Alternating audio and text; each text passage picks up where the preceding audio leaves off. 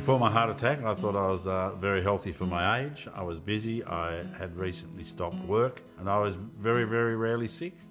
The day of the heart attack, I had a lot of pain down my chest, and when I was in the hospital when I returned to Sydney to have the five bypasses done, they said at the time of booking me in that I was known as the 45 million to one man to live through what had happened. Uh, this is the, the box that I keep my pills in.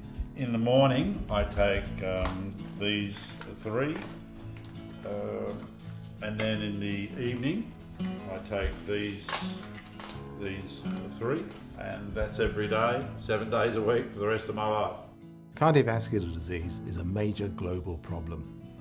We know that it's the commonest cause of death for women and men in Australia. There is an international need. Uh, in fact, in many countries, uh, the situation is much worse than that in Australia. So, for example, in China or India or Indonesia, if you've had a heart attack or a stroke, you're likely to be getting no treatment at all. And one of the tragedies is that people, even if they know that they're at increased risk or they've already had a heart attack or stroke, then they either are not prescribed or are unable to afford or don't regularly take their medication to help prevent further strokes or heart attacks. Today, Bupa and the George Institute are announcing a joint venture partnership to launch a polypill, which is a medication, in this case targeted at people with established heart disease or cerebrovascular disease, disease of the um, arteries to the brain, to make it easier for them to take their pills properly.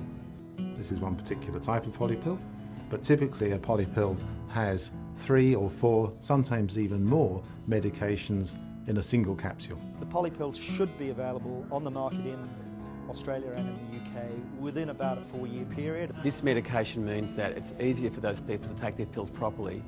Almost one in two Australians with established cardiovascular disease don't take their pills properly, and we know from the research this makes it much easier for them to do that. I take three tablets in the morning, three tablets in the evening. If that could be reduced down to one tablet, you'd only have to do it once. I mean, it doesn't sound much if you're not on medication, but when you are on medication, it just makes it more convenient. Yeah, a lot more convenient.